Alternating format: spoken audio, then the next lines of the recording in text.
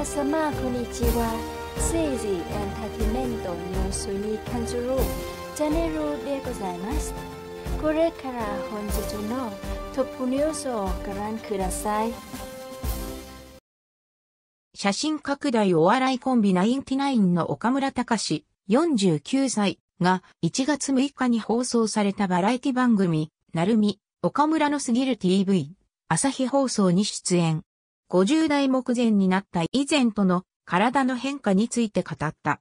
番組はこの日、40代では感じなかった老い。うちし50歳、急にガタが来たと思う瞬間を特集。大阪人100人にアンケート調査を行った。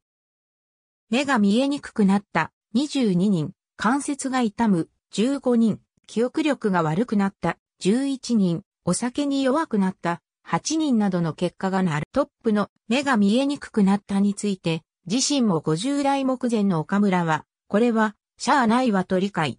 そして、私はどんどん見えなくなってきた、カンペが、もう見えない。